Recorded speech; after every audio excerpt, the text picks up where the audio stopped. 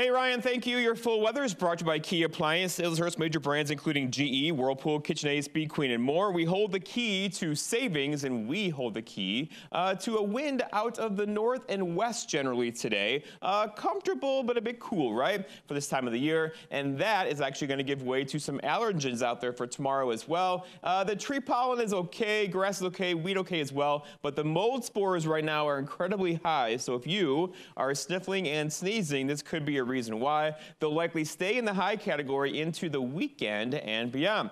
All right, temperatures today 75 here in Bangor. Very nice temperature day, right? 71 Millinocket, a bit cool uh, upstate. Look at these 60s up there. Those will stay there for now. We actually have warmer temperatures on the way with highs pretty much in the upper 70s through into the weekend and beyond. As the real hot stuff has retreated again uh, back off to our west, uh, it's still confined to parts of Oklahoma and Texas, New Mexico, and Arizona. Uh, they can keep it there. For us, though, we'll have a near average high temperatures or even slightly below average high temperatures into the weekend and beyond.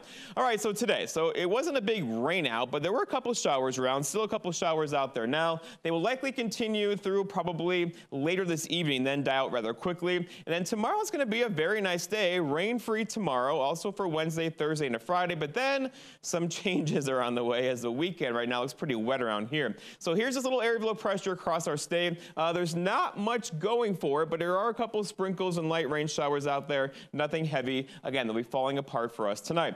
Walking you through it though. So here's this evening, we, after 2 o'clock in the morning or so. Here's 4.30. We're looking at temperatures looking good in the 50s and also clearer skies tonight. And then maybe some dense fog late, followed by, again, a very nice sun-filled day tomorrow. And then the same thing for us on Wednesday, into Thursday, into Friday. And then some changes later Friday into Saturday, where the weekend weekend looks pretty wet around here once again. If you're looking at rainfall, not a lot, right? Here we go into Friday afternoon or so, and really not much until then. But again, here comes a wave of energy in here late Friday and Saturday, likely bringing us some rain showers then. Our forecast ends right though is rain showers out there now are ending. Look for low temperatures down near 54 and a calm wind at midnight. Some dense fog in there late as well for tomorrow.